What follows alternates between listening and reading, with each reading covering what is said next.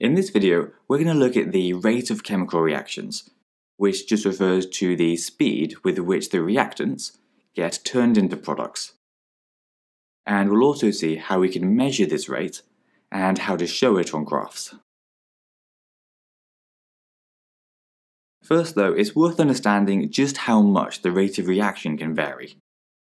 For a slow reaction, think of the rusting of iron, which can take years or decades. A more typical rate is something like the reaction between magnesium and an acid, which produces a gentle stream of hydrogen bubbles.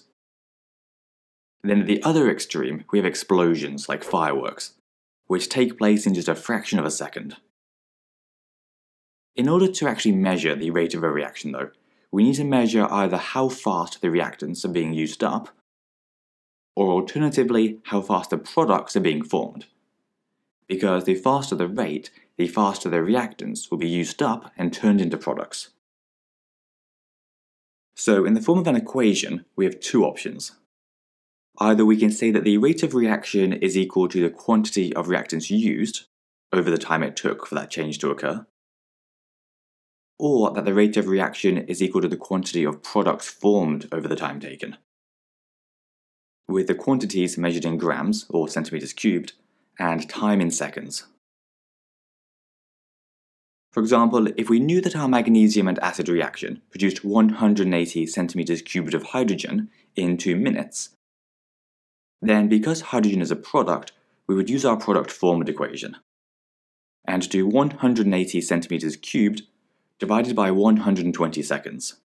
Because remember, we have to convert our 2 minutes into seconds which would give us a rate of 1.5 centimeters cubed per second. Alternatively, if we had used 3 grams of magnesium, and were told that it took 4 minutes to disappear completely and get used up, then we could use the other equation and do 3 grams divided by 4 times 60, so 240 seconds, which gives us 0.0125 grams per second. Now, these rates of reactions that we've calculated so far are actually the average or mean rates of reaction throughout the entire reaction. In reality, the rate would start off really fast when there are loads of reactants that can react together, and then slow down as the reaction progresses and the reactants get used up. We can actually see how this works by plotting some graphs, with time on the x-axis, and either mass of reactant remaining or volume of product produced on the y-axis. So on our left graph here, if we started with 3 grams of magnesium, then the mass of our reactant would start at 3 grams and at first fall quite rapidly. But then it would slow as the reaction progresses and it gets used up less quickly. Meanwhile, for our other graph, we know that at the beginning of the reaction we have no products, so it starts at zero.